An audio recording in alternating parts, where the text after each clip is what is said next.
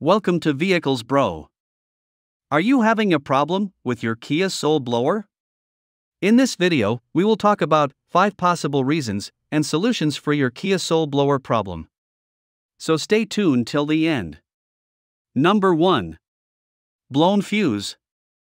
It is the most common reason for your Kia Soul blower not working. In this case, you need to check your fuse and replace it with a similar current rating. Number 2. Relay short circuit. Sometimes the blower motor not working and the problem also arises due to a bad relay. If it happens reset or replace the whole thing. Number 3. ECM malfunction. Inside the electric control module, a resistor controls the motor speed. If ECM malfunctioning, then replaces the resistor. Number 4. Faults in the blower motor.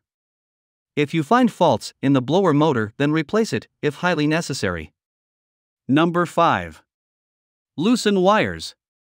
Check the motor wires connection and tighten them if there are any loose ends.